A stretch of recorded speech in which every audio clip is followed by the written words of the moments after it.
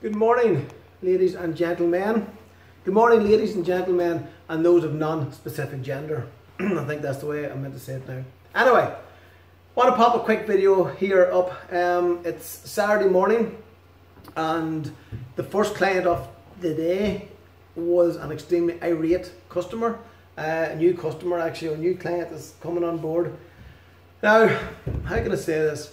Right, very irate customer, and he was irate because he failed a DVA enforcement audit, okay, an official departmental transport compliance audit. Now, why he's so upset about it is because he has been audited by FORS, and um, you know he passed that audit, but he failed an official audit. Now, to defend FORS, one thing that I will start off with very, very clearly is saying that FORS is a voluntary, voluntary um, scheme. Okay, you sign up to FORS, you sign up to implement their policies and their procedures for them to give you a sticker to put on the back of the lorry, which pulls off the paintwork. But anyway, right? So that's what they're there to do. It's no difference if you come on board with their compliance program. Yes, it's a lot more in depth. You pass their audit, we do the three month inspections, but it's still if you want to become TCTS compliant uh, or certification certified compliant, well then that's a different story. It doesn't matter where you go. It doesn't matter if it's FTA or HA. It doesn't matter where you go for that. Okay.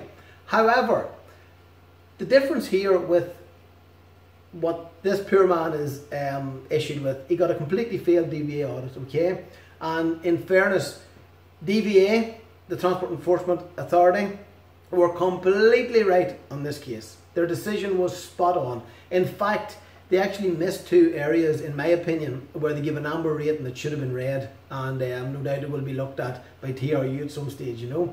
But I understand where the guy's coming from. I understand his frustration. I understand why he would be, you know, so irate about it.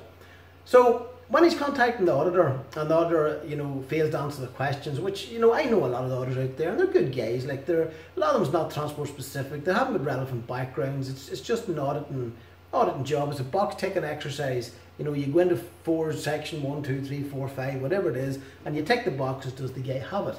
So, for example, it's like any auditing system, guy. It doesn't matter if it's for your garden. Doesn't matter if it's for PP and uniforms. Doesn't matter if it's for, if, you know, you want to audit your your key retention for forklifts. It doesn't matter what sort of audit it is. Okay, an audit is a systematic approach put down on a bit of paper um, or electronically to see do you have it or not and reviewed um, on a regular basis. Now, the problem that I have with this is that, you know, and I say to defend for it as well, but the problem I have with this is to date, this will be the 12th guy, the 12th company audited by FORS and recognised by FORS who's failed an official audit, okay? Now, for example, when that audit's done on them and they, they tick the box for tachographs, okay, and driver's hours, you're taking the box because you have a system in place. You're taking the box because um, you have data on a screen. You're taking a box because you work in time regulation policy somewhere, okay? However, we go in and look at it, or DVA, or DVSA, or RSA, or road policing go and look at it, and we get mass manipulation. We get driving without a card. We get using other people's cards because we bring the investigative practice together then to find out whether you're compliant with operator's license, construction use regulations, road traffic act, road traffic order, etc. So Although this guy is completely off his head here about it, and I got him settled down enough, and he phoned the auditor, and I spoke to the auditor, and he couldn't answer any questions because all it was, is it in section one or section seven? You know what I'm saying to the guy, but you know everything is in them sections, but DVA don't, you know, because the FORS isn't regulated in any way. It's not. There's nothing that can be taken out of it. You're only as good as, I suppose, the auditor, or as good as the system that is put in place. Now, DVA in this particular case. Um, their decision was spot on, okay? And, you know, we'll now go and, and fight for the operator if he gets into a standard of compliance.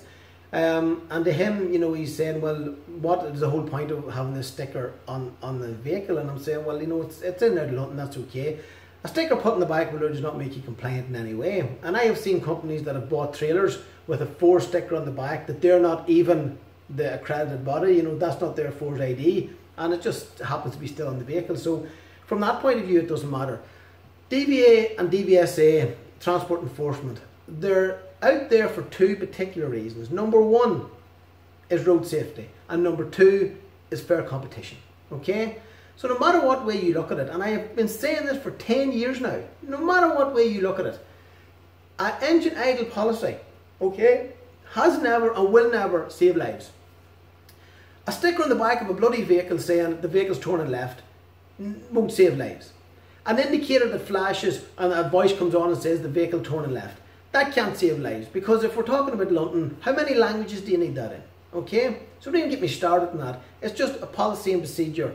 And I said to the guy, go and get somebody just, you know, FORS audit it and go in and do your audits, whatever you want to do. Like, because as I say, there's very little relevant or specific background in it, and that's okay because it could be they could come from the likes of ourselves, you know, qualified lead auditor standard, or they could be just doing an online auditor course, you know, a couple hours online or an hour online.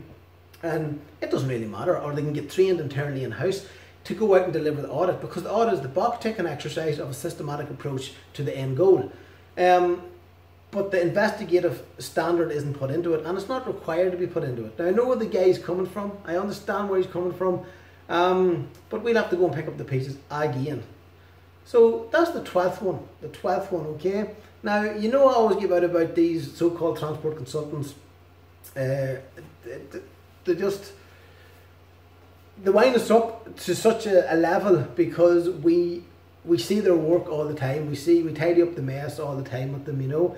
And as I've said in all of my videos or any of my posts, there are some damn good ones out there. There'll be maybe four or five percent throughout the UK and Ireland. Um, and there are some good ones out there, you know. But I'll tell you something. I was in England a couple of weeks ago and I was chatting to a top of the range consultant, as he called himself.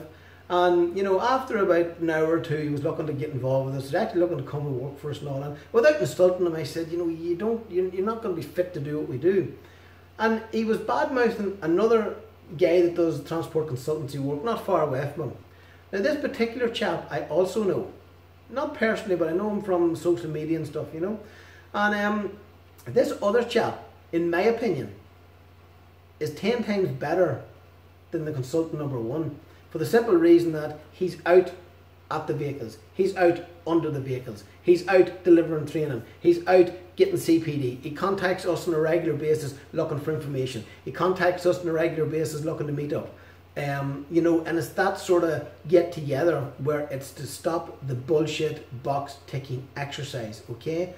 So getting back to my point, guys, I'm not sure people know that. You need to distinguish between the two. You know, there's no, as I say, FORS, for example, is a voluntary scheme, does exactly what it says in the tin. It's a scheme to voluntary, voluntarily get yourself recognised uh, onto their database. If you come on board with their compliance program, it's the same thing. A bit tougher, a bit harder to do, but it's the same thing. You can go to wherever, FTA, RHA, who else is there? Whoever else out there. Like every dog in the street does it now. But when it comes to the crunch, when you're playing with the big boys, can you protect yourself? Can you defend yourself? Now this guy and these auditors on the scheme will walk away from him. Of course they'll walk away from him. That's okay. Um, when it comes to working with the big boys, you know, can you defend Can this guy get defended? We're going to have to put a hell of a lot of work into this. We're going to have to go to the transport regulation unit. We're going to have to go to the enforcement officer themselves, you know, and say, right, listen, this is all we can do to get this guy up and going and try and, you know, put a system in place going forward and, you know, show massive improvement in a very, very short period of time. That's what it needs to happen. Now, a couple of weeks ago, um, I was involved in a, an official pace audit for between an operator and transport enforcement. And the guy again was um, registered or FORS audited. And he told them, he kept saying to the enforcement officer during the questions, um, under a recorded interview, you know, cautioned interview, he kept he kept giving the answer that was, yeah, well, I have that because FORS states this and FORS states that and all. And the, the enforcement officer, who I know, looked at him and says, what's FORS? What, what are you talking about? I'm looking here at legislation, nothing states it.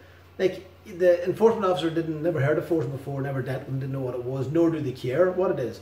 Because the guys run about with magnet use, manipulation of tachographs and using another driver's card. So it doesn't matter who you're with eh, and was it detected at any stage, you know. So guys, just want to pop up that quick video to because it's a regular occurrence. We're going number 12. This is our 12th one um, who's FORS registered or FORS audited and has failed an official DVA audit. So to defend FORS, they never stated at any stage that you'll be a compliant operator. However, it is what it is. Anyway guys, have a nice day.